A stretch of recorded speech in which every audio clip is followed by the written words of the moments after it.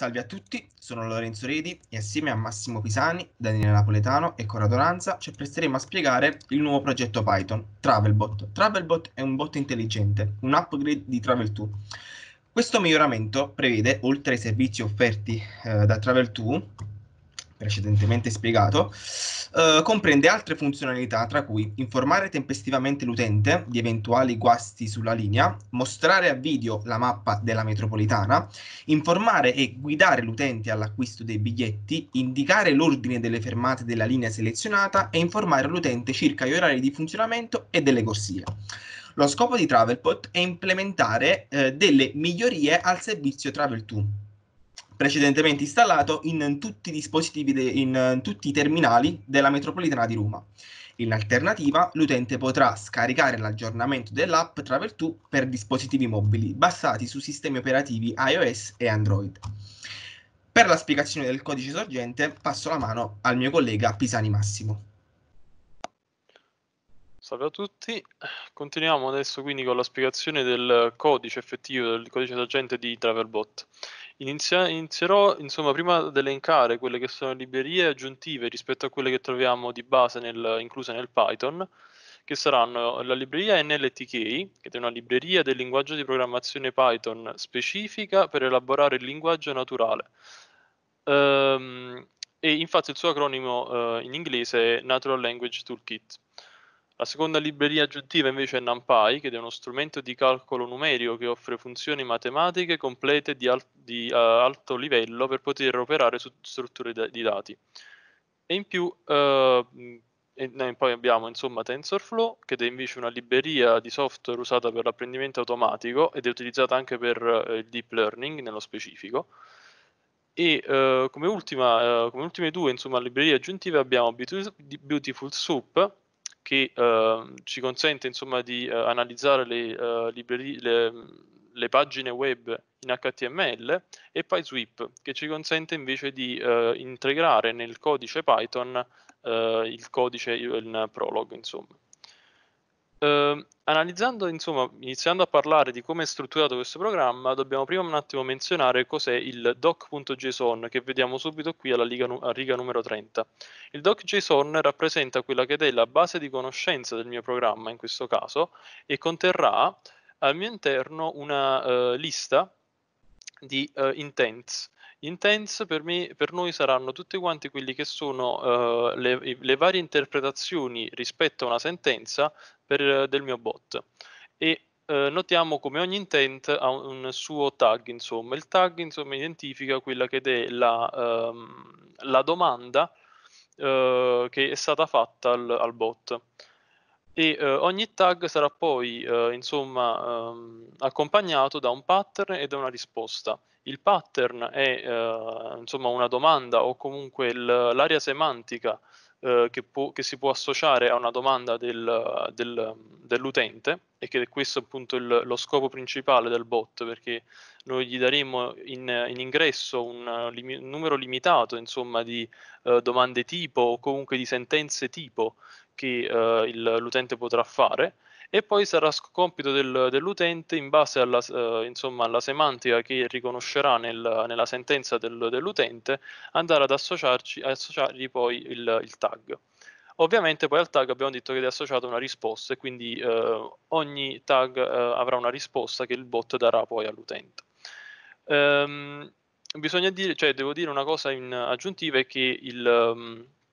eh, il programma è stato fornito di due eh, basi di conoscenze differenti che possiamo vedere qui. Uh, datemi un secondo, scusatemi.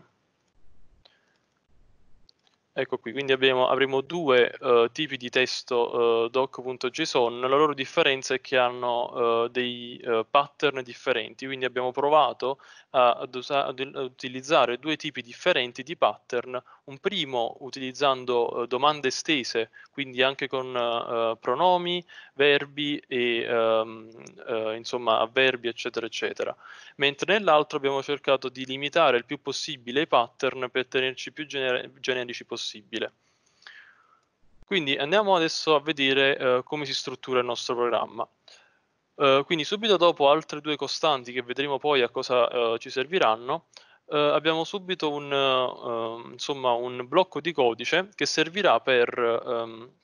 andare ad estrapolare dai nostri file.json informazioni. Avremo una lista Word che sarà costituita da tutte quante le Word uh, contenute in pattern. Una uh, lista tag che conterrà appunto uh, una lista scusatemi labels che conterrà al suo interno tutti quanti i tag presenti nel documento JSON e due liste docx che al suo interno conterrà liste di pattern quindi, um, quindi appunto quelle che abbiamo visto prima e uh, docsy che conterrà al suo interno uh, i tag corrispettivi a quelle liste di pattern e saranno ordinati insomma nella stessa maniera.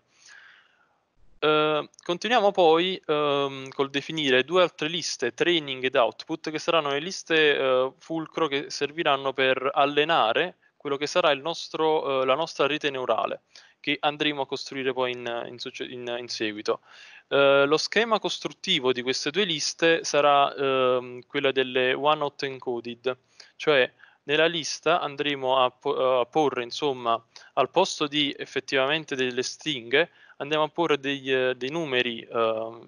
interi, che potranno essere o 0 o 1,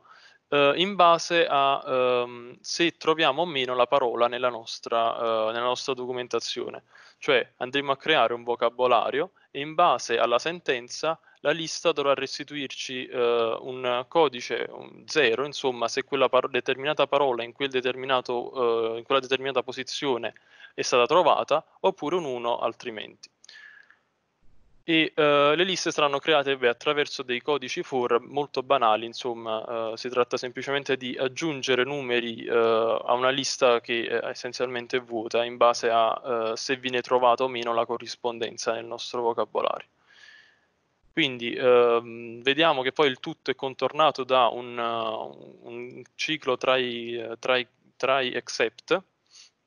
in maniera tale da avere un'ottimizzazione in più aggiuntiva al programma, cioè se il nostro programma in, uh, all'avvio riesce a trovare insomma, un file uh, data, uh, allora il programma insomma, farà partire, ca- caricherà quel, quel, file e non dovrà rifare insomma, tutto quanto il processo di, di calcolo nel, dal, dal nostro documento. Segue poi eh, un altro blocco di codice che è quello che creerà il nostro modello a, eh, insomma, il nostro modello di rete neurale. Eh, la nostra rete neurale avrà come input un, uh, un, um, un layer formato da uh, un numero di neuroni pari a quanta è la grandezza del nostro vocabolario costruito dal, insomma, dal documento do, JSON e uh, seguirà poi al layer, al layer, di input due layer nascosti formati uh, a loro volta da 8 neuroni e uh, infine avremo un layer di output che avrà una grandezza ehm, pari insomma alla lista di output che abbiamo visto prima, che abbiamo costruito prima e, um, e, che avrà un tipo di attiva- attivazione softmax. Che vuol dire attivazione softmax? È un tipo di attivazione che um, consente ad ogni neurone di avere uh, in, um, insomma, uh, un, uh, un, indice probabilistico di quanto il bot crede che sia quel determinato tag o meno. Quindi noi praticamente in uscita avremo una lista di tag e corrispettiv- diciamo in maniera um, Uh, ordinata avremo uh, poste tutti quanti gli indici di probabilità rispetto ad ogni tag, quindi in questo caso greeting, good, goodbye, metroline, eccetera, eccetera. Seguono poi una, una serie di insomma, funzioni basilari, quali uh, bag of words, che servirà di, uh, a, a insomma, creare un, un NumPy array che al suo interno porrà insomma una, um, una lista di tutte quante quelle che sono le parole in, uh, in maniera ordinata e uh, sempre in maniera uh, one hot encoded, insomma. Quindi porrà, uh, ad esempio, se troverà una parola all'interno del documento iniziale rispetto alla sentence che noi gli diamo in ingresso, che la sentence si intende quella dell'utente, gli darà un 1 se quella, quella determinata parola trova una corrispondenza all'interno del documento, o altrimenti gli darà uno 0. Poi abbiamo eh, le alt- altre funzioni quali attraction, che ehm, è la funzione che insomma sfrutterà il, il codice Prolog già implementato in uh, Travel True e uh, attraverso insomma una, una serie di, di, di, di stringhe di codice, cioè di righe di codice, insomma, uh, andremo a fare una query al, al, database prologcode.pl che si troverà nella cartella iniziale del, um, del programma in, in Python eh, e andrà a fare una query eh, rispetto a visit, quindi ehm, prenderà insomma in ingresso una first stop e una last stop e la query poi attraverso la query, attraverso insomma il, eh, l'elaborazione dati eh, della risposta della query, noi andremo a trovarci una lista di attrazioni, una lista di fermate e eh, insomma il tempo che impieghiamo per raggiungere la nostra fermata di destinazione. Poi abbiamo la uh, funzione news.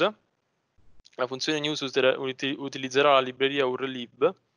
e um, quello che farà è semplicemente uh, mandare una richiesta al, al, al, sito internet delle news della metropolitana di Roma attraver- uh, con anche un user agent, altrimenti il sito ci bloccherebbe l'accesso. E uh, attraverso insomma la funzione read leggiamo il codice sorgente HTML con Beautiful Soup andiamo a identificare tutte quelle che sono i blocchi di testo all'interno del sito che contengono l'informazione della, della notizia e eh, ritorneremo poi una lista di tutte le notizie, una lista di string ovviamente. Poi abbiamo la funzione transaction, è una funzione molto basilare, si vede, è una funzione che ci per permette all'utente di comprare eh, i ticket, Uh, quindi alla fine molto basilare, ha molti pri- um, print insomma e cicli um, try, try except e uh, while true perché um, insomma è presente un input da parte del, dell'utente, quindi qualora quell'input dovesse essere sbagliato, uh, questi, mh, queste, ringhe di co- queste stringhe di codice insomma permettono di permettono insomma di eh, mantenere le, l'esecuzione del codice senza far partire un, un'eccezione. E uh, infine in uscita, uh, dopo aver insomma, chiesto i dati di, uh, della carta all'utente, ci ritornerà una lista dove al suo interno avremo il numero della carta, data di, data, di, scadenza e il numero CCV. Ok, arriviamo quindi alla funzione principale chatPredict,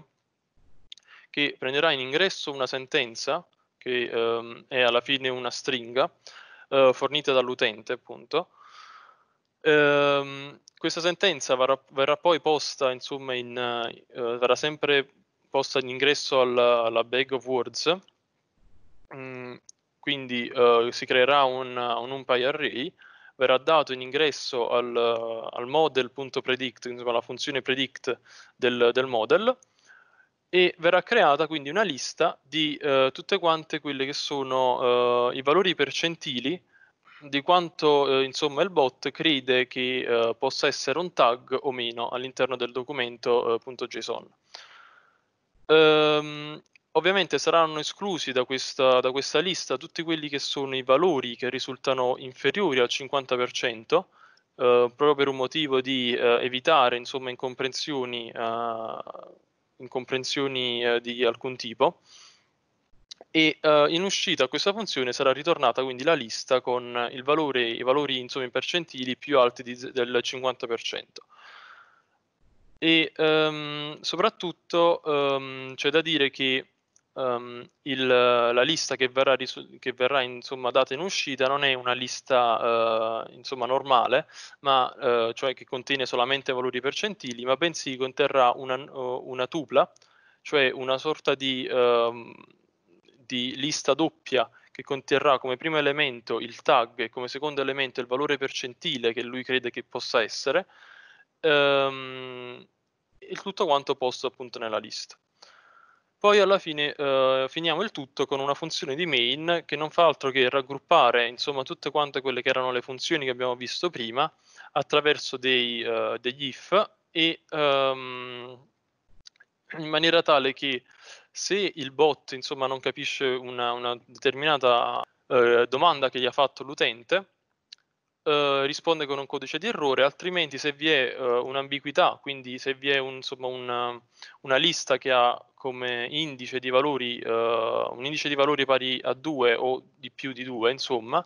ehm, il bot darà possibilità all'utente di eh, far scegliere insomma, la domanda che più ritiene corretta. Um, alla fine, insomma, uh, arriveremo all'ultimo caso, all'ultimo blocco di codice if, che in base ad ogni tipo di tag il, il bot ha, cioè, de- fa- farà un'azione differente oppure insomma um, risponderà in base a quelle che sono le risposte già poste all'interno del documento. Finito il, il discorso sul, sul, codice sorgente, possiamo iniziare a, a vedere un esempio pratico appunto del nostro bot. Quindi Uh, iniziamo con una prima domanda ed è um, quali sono per esempio le attrazioni che posso vedere a Roma? Quindi what attraction um, can I see in Rome?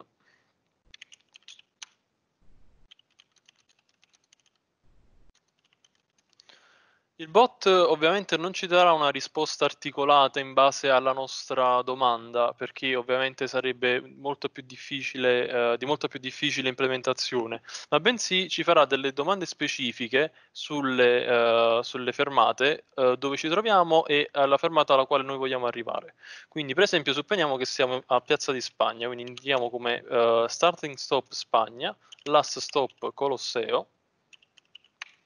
e vediamo che ci fornirà una lista di attrazioni, quindi Colosseo, i Fori Romani, Pantheon, eccetera, eccetera, una lista di fermate che noi dobbiamo effettuare prima di arrivare a Colosseo, quanto tempo ci mettiamo per arrivare alla mia destinazione e quanti cambi devo anche fare per arrivare a quella destinazione.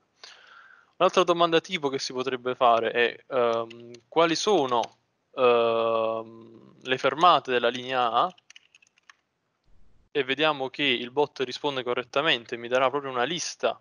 di, uh, di fermate uh, di, ogni, di, ogni, linea insomma, della, della, metro. Oppure ad esempio um, quali sono i, differenti tipi di, uh, insomma, di, biglietti che posso trovare per la metro di Roma, quindi show me different types. Tickets e vediamo che mi dà proprio la lista di tutti quanti i biglietti disponibili uh, per, la, per, la, metro di Roma e supponiamo adesso che vogliamo comprare un biglietto, quindi che ne buy a ticket.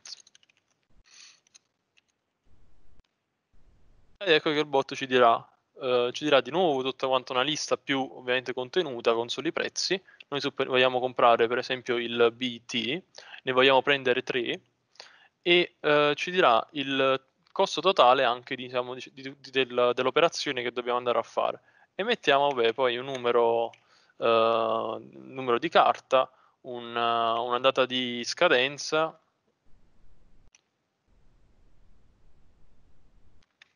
e un codice CCV questi, questi, questi dati che, insomma avrà il bot ovviamente in questo caso non saranno trattati eh, a dovere, cioè saranno diciamo cifre che rimarranno salvate all'interno del, della memoria eh, temporanea del bot e che quindi in questo caso non stiamo implementando, però in realtà si potrebbe fare anche un codice più elaborato dove eh, questi uh, questi dettagli di pagamento che uh, va a prendere dal, dall'utente li va poi a elaborare attraverso una libreria magari esterna che um, non lo so, lavora con uh, PayPal, con PostePay e tutte quante le maggiori carte insomma presenti in Italia e va a fare effettivamente il pagamento fisico magari su un sito internet della metropolitana di Roma. Quindi questa potrebbe essere una, un'idea futura da implementare nel, nel chatbot. Un'ultima, um, altre due domande tipiche che possiamo fare sono ad esempio vedere le notizie attuali del, um, eh, de, sulla metro di Roma, quindi show me the news, ad esempio.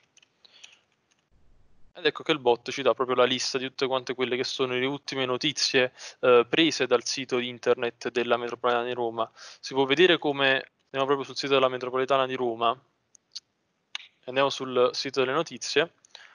Ecco qua che possiamo vedere come insomma, questi due testi corrispondano e è andato effettivamente sul sito insomma, a prendere i, uh, i valori. Come ultimo, come ultimo, insomma, uh, come ultima domanda possiamo vedere, uh, chiedere insomma al bot uh, di, di, mostrarci una mappa, quindi I have a map? Ed ecco qui che il bot è andato a scaricare direttamente dal sito quello che era, quello che era la mappa del, ehm,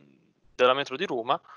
con tutte quante le sue fermate e, ehm, insomma ci dà un, un'idea generale di come è eh, disposta la metropolitana di Roma. Detto questo, eh, abbiamo finito per, per questo video, eh, vi ringraziamo per la vostra attenzione e eh, alla prossima.